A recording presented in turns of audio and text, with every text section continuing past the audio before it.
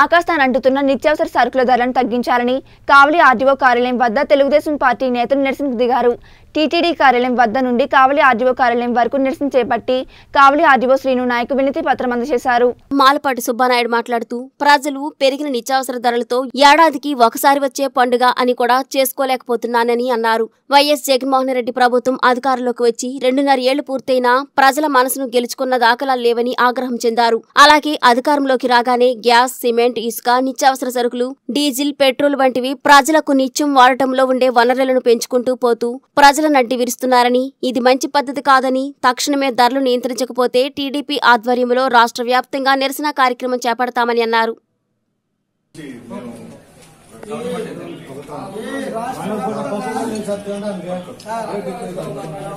రాష్ట్ర వ్యాప్తంగా తెలుగుదేశం పార్టీ ఒక పిలుపుతుంది సార్. ఆ పిలుపులో భాగంగా పేద ప్రజలకి నిత్యావసర ధరలైతేనేమి పేదవాడు పండగ పూట పట్టడి పప్పుచారు కాసుకుని దిక్కు లేకుండా పోయి చేసినటువంటి ఘనత ఈ జగన్మోహన్ రెడ్డి గారికి దక్కింది. ఏ విధంగా అంటే ఏ చిన్న విషయాన్నైనా చూసుకోండి. రూపాయి అయితే రెండు రూపాయలు పెరిగిపోయింది. ఇంక ప్రతిదీ అదే విధంగా పెరిగిపోతానే ఉంది. ఈరోజు ఈ మధ్య కాలంలోనే ఒక వారం పది రోజుల కిందటే నాలుగు వేల ఐదు వందల కోట్ల రూపాయలని ఢిల్లీలో నుంచి అప్పు తీసుకొచ్చాడంట. కానీ పెన్షన్ పెన్షన్దారులకి సగం మంది కూడా పడలా. జీతం తీసుకునేటువంటి వాళ్ళకి ఇంకా థర్టీ పర్సెంట్ పడాలని చెప్పేది రోడ్ల మీద వాళ్ళు ధర్నాలు చేస్తా ఉండడం జరుగుతుంది. ఇవన్నీ పక్కదారి పట్టించడానికి ఇవన్నీ ప్రజల్లో జ- చర్చ జరగకుండా ఉండడానికి ఈ మధ్య కొత్త కాలం ఇంకొక జగన్ ఇంకొక జగన్మోహన్ రెడ్డి గారు ఇంకొక కొత్త స్ట్రాటజీ కనిపెట్టాడు. రాష్ట్ర వ్యాప్తంగా సీఎం కప్ అంటాం. ఆ సీఎం కప్ అనేటువంటి పేరు పెట్టి పిలకాయలు క్రికెట్ ఆడిచ్చేది ఆ పిల్లకాయలను ఓళ్ళు ముప్పించడానికి అదొక ప్లాన్ చేశారు. అదేవిధంగా మన నియోజకవర్గంలో కూడా ఈరోజు మన ఎమ్మెల్యే గారు కూడా ఈ చర్చలన్నీ పక్కదారి పట్టించడానికి పోలేరమ్మ జాతరను ఒకటి తీసుకొచ్చాడు. ఏడున్నర సంవత్సరాలు అయింది ఆయన. మనకి ఎమ్మెల్యేగా వచ్చి ఏ రోజు కూడా కలుగొల్లమ్మకి తిరణాలు చేయాలనో పోలేరమ్మకి పొంగలు పెట్టాలనేది మాత్రం లేదు. ఇవన్నీ పక్కదారి పట్టడ పట్టించడానికి మాత్రమే ఈ రోజు కొత్తగా ఈ స్ట్రాటజీని ఎన్నుకోవడం జరిగింది. ఇది ఈయన ఒక్కటిదే కాదు రాష్ట్రంలో ఉండేటువంటి ప్రభుత్వానికి రాష్ట్రంలో ఉండే వైసీపీ ఎమ్మెల్యేలందరూ కూడా ఇట్లాంటి స్ట్రాటజీలు ఎన్నుకొని ప్రజల్ని పక్కదారి పట్టించడానికి కార్యక్రమాలు చేస్తున్నారు తప్పక ప్రజల మీద ఇటువంటి ప్రేమాభిమానాలతో చేసేటువంటి ప్రక్రియ కాదే కానది తెలియజేసుకుంటూ వీటన్నిటిని కూడా ప్రజలందరూ కూడా ఈరోజు ఈ నిత్యావసర వస్తువులు ఎక్కువ పెరిగాయి. ఏ పేదవాడు కూడా తెచ్చుకునే పరిస్థితి లేడు పండగ చేసుకునే పరిస్థితి లేరు దానికిగా మేము ఆర్డీఓ గారికి ఏదో వినతి పత్రం ఇచ్చి ఏ ప్రతి పేదవాడు పండగ చేసుకునే కొంచెం ఒక ధరలు తగ్గించండి. ఏ ఇంతకు గతంలో తెలుగుదేశం ప్రభుత్వంలో ఎంత పేదోడైనా సంక్రాంతి కానుకిచ్చి ఏడు వస్తువులు ఇచ్చారు.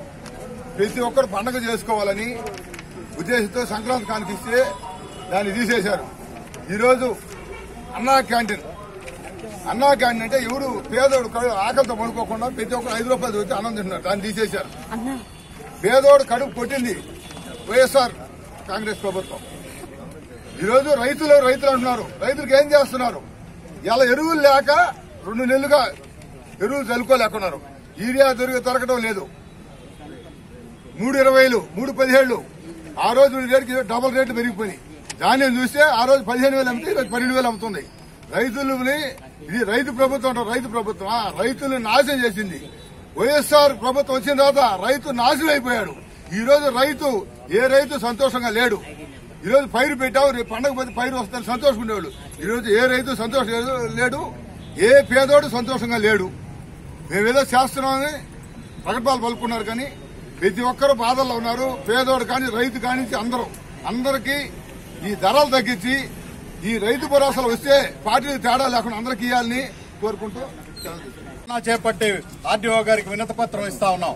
ఈ రోజు గతంలో తెలుగుదేశం ప్రభుత్వంలో చంద్రబాబు నాయుడు గారి సారథ్యంలో ఆ రోజు రేట్లు ఏ విధంగా ఉన్నాయి?